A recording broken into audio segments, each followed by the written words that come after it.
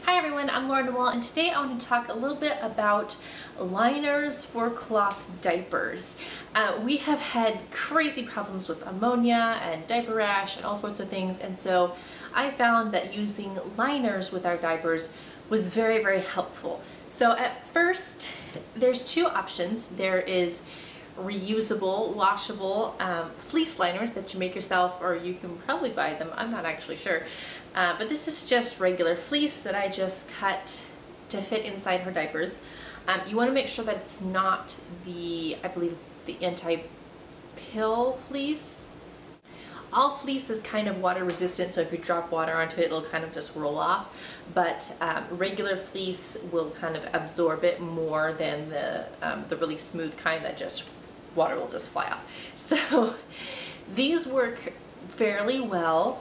Um, I, I can't say that I love them. I do love that they're washable.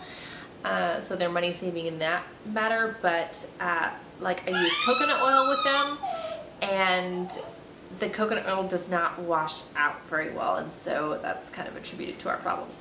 So I kind of stopped using these and I don't use these for like really intense diaper cream because I would literally have to sit there and hand scrub it and that's just kind of gross.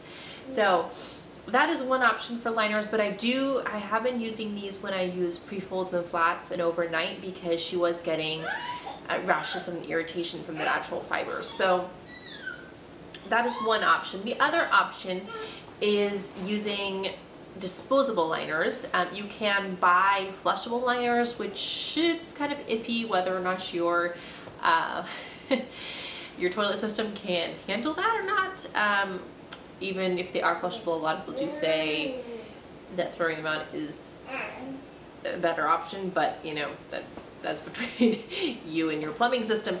Um, these are the DIY version, and these are just Viva paper towels. Um, Viva, if you've never I'd never even um, touched Viva paper towels, but they're so soft. They're super, super soft. When I was thinking paper towels, I was like, oh my gosh, I got like Target brand and it's so rough. I would never put that on the bottom.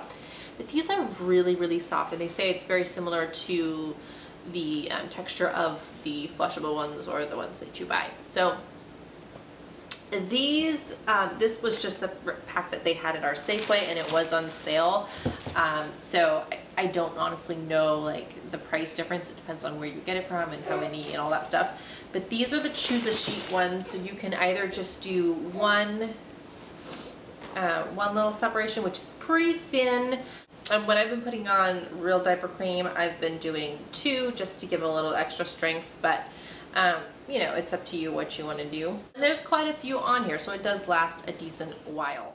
It makes cleanup very easy. I personally love these. I think this is a really great way to go, and it's fairly inexpensive. Uh, you know, we were using, because she has a rash, and we were using diaper cream. Um, I Use Mommypotamus's recipe that I'll link below. And it technically, I think she says, is diaper cream, is um, cloth diaper safe, but it's so hard to get out. I'm not sitting there and scrubbing that out. So uh, that's why we were using the liners, but even those were hard. So then we just started using disposables.